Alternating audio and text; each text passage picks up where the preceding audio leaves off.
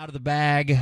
Uh, Greg the Hammer Williams going to join us tomorrow on our remote, kind of an old school hardline get together. No clue what's going to happen, what direction things are going to go, but there'll be some uh, interesting staples that those that have listened from way back when will probably enjoy. And if you're a new listener and have barely an idea who Mike Rhyner is, which is weird, I, I've met one person who was big fans of the station prior, and they've come on board with listening to the Freak now and us. He's like, man, I had no clue who I was, which is not surprising, but no idea who Mike Rhyner was. Like, hey, he's funny. That guy's great.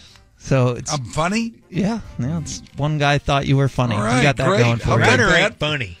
Yeah, that, that was another thing. I wasn't funny. He, Greggo was the funny one. You would say Rhyner ain't funny. no, it was fake Greggo okay, said that. okay.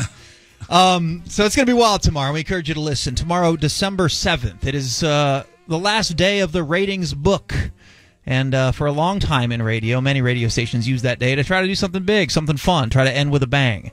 And we do realize that the ticket does do White Elephant that day, and that's why they do it that day, because it's the last day of the ratings book before the holiday book kicks in. And the holiday book is one that radio stations tend to not care as much about as the December one. Right.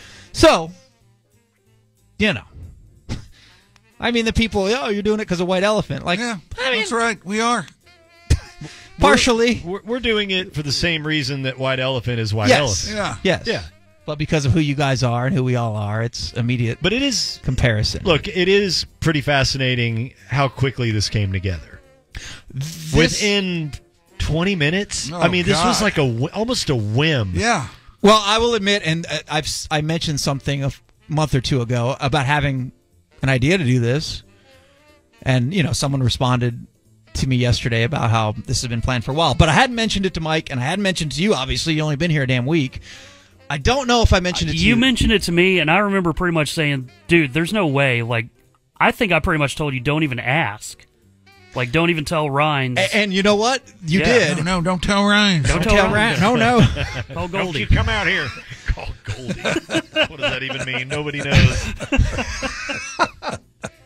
Well, I've always had this idea in the back of my head. This would be wild. And I we were sitting there pre-show yesterday, and I looked at my damn little calendar on the bottom of the computer, and it said December fifth, and this snuck up on me so fast that the end of the ratings period is December seventh. So I'm like, okay, we run it by Mike. Mike's like, all right, we can try my, it. My first instinct was to go no.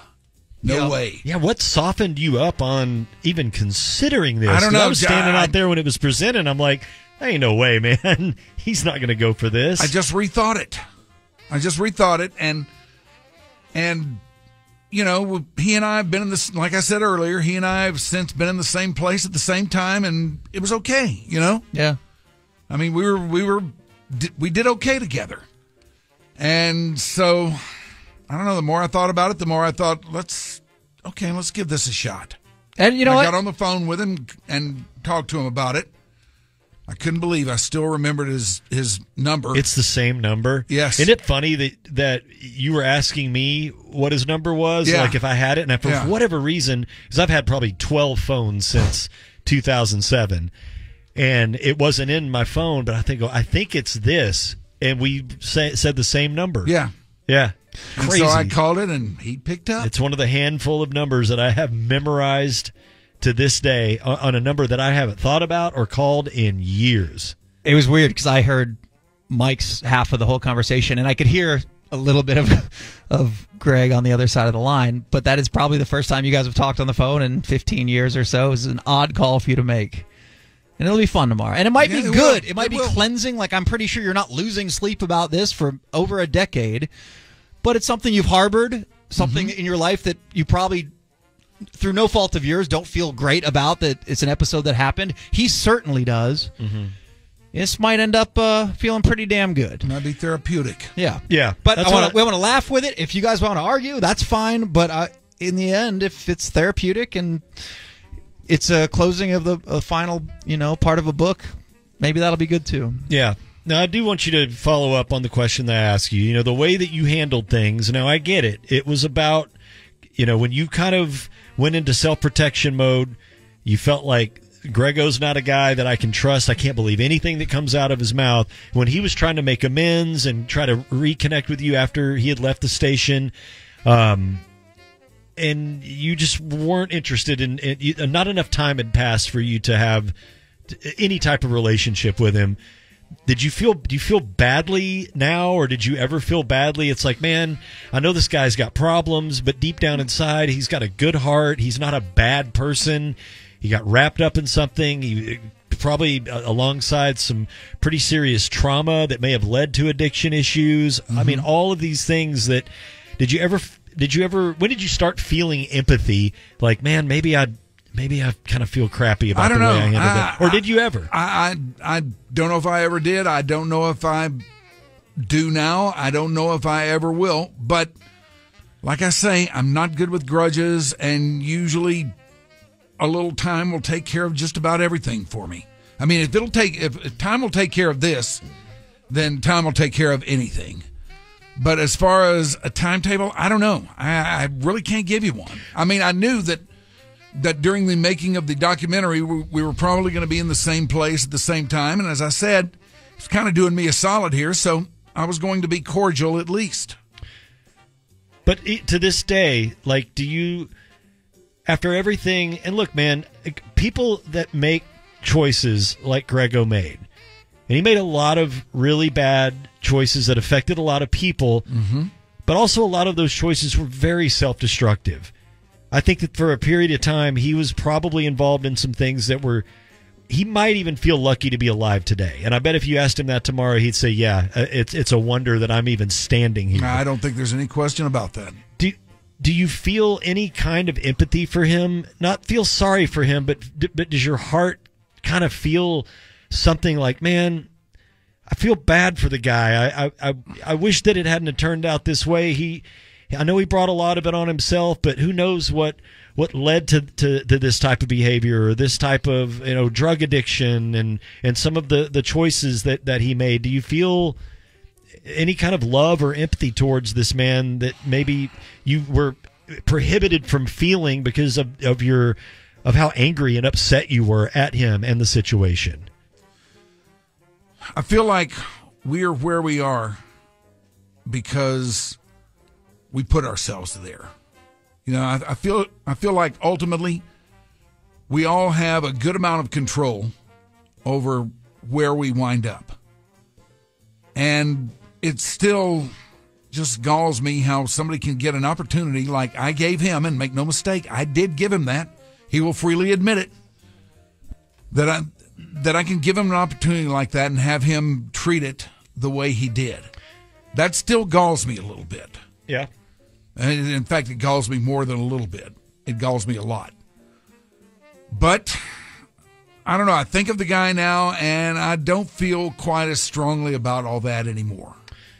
Is, did I answer that the way you wanted? I think so. Uh, let me let me even uh, go further with this. Okay. There there are probably a lot of professionals and experts that deal with personality disorders, with addictions, that might disagree with some of what you're saying when you talk about some people that, that people have control. That they might come back and say, well, because of whatever reason, whether it be some childhood trauma or maybe the way that they were wired in their brains, mm-hmm. that, that the way they were created, like some people have tiny fins for arms mm-hmm. and other people have defective brains that need to be fixed. And sometimes things just ne- aren't necessarily in their control when you put them in a certain scenario or under some cer- certain circumstances until they go through that and kind of lay waste to their own lives and maybe others until they get some awareness and some help and some treatment and get a grasp on that then they can maybe start realizing that they do have that control.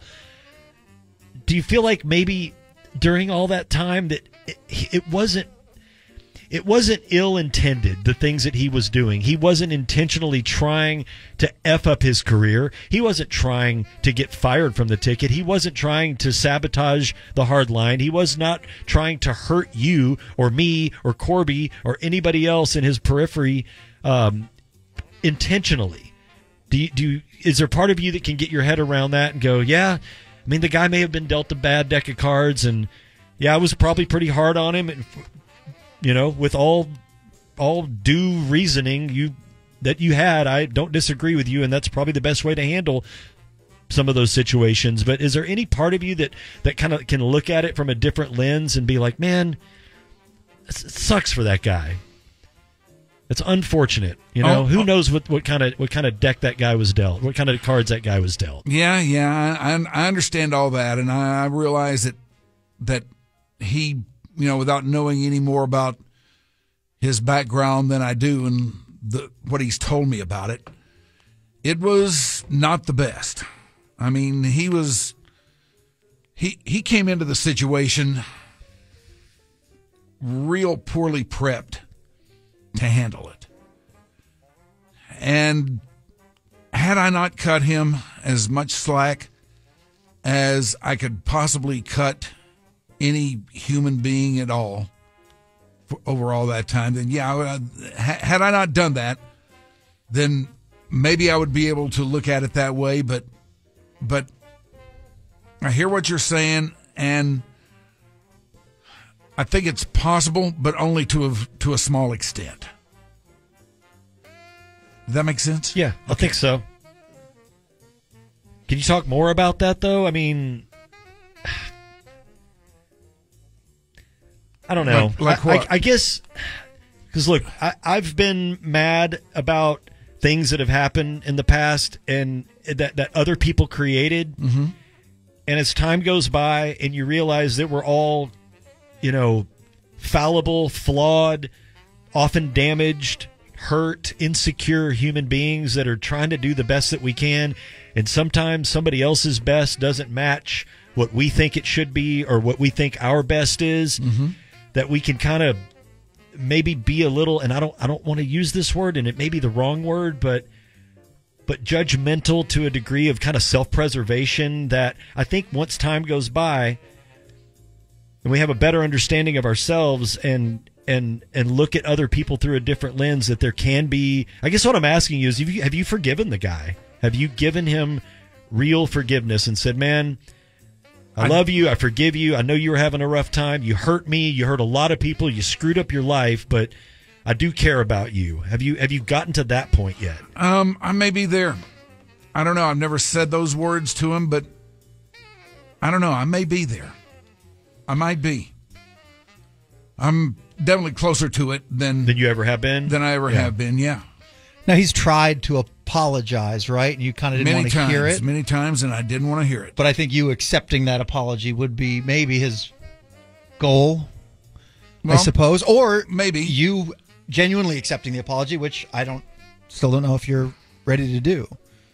No, I don't know if I'm ready to do it either. Well, another thing you have to keep in mind is people that go through 12 step stuff and therapy and treatment like that, it it's probably pretty well and it should be if it's not, it should be pretty well understood with them by whoever is kind of guiding them through that process that your bid for res for for uh, rest, resolution and to make amends it may not be met with the answer that you want. And you have to accept that for yourself that Yeah. look, I tried to apologize, this person was not willing to accept it. You can't base the success of your treatment or your self-worth on being validated by the people that you hurt because they may never forgive you. Yeah, and that's.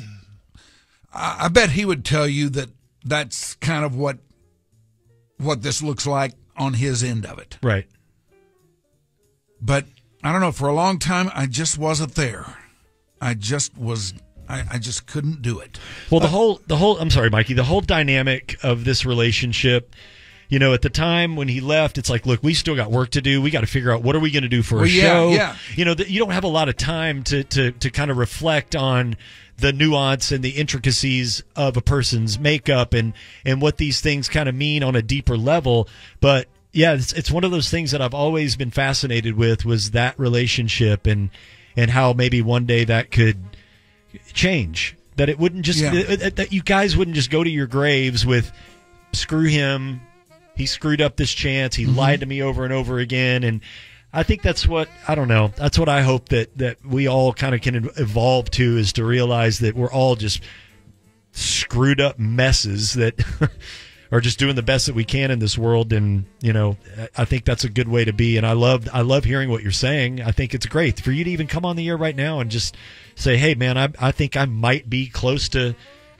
Well, the fact it's even happening Yeah, the fact that- shows yeah, that. The fact true. that he made that call yesterday. Well, a lot the of fact people- that he's well- willing to do this and give Greggo this opportunity, I suppose. Well, the reason I even bring this close. up is is I, I think a lot of people will look at this this thing that's happening tomorrow and look at it as kind of the way we described it. Oh, it's just a ratings grab. They're just trying to screw up the tickets white elephant.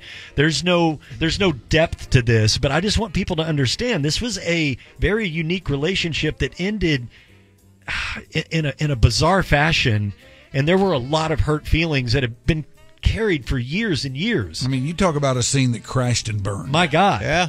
Yeah. So what I'm saying is, it, it there's there's more depth to this than just a radio stunt. Let's, Oh, it's let- real. it's Yeah, real. Let's yeah. let's use the hammer and and screw up the tickets white elephant. You know that is there a, is there a truth to that? I don't know, but I'd like to think that there's more to it than just that.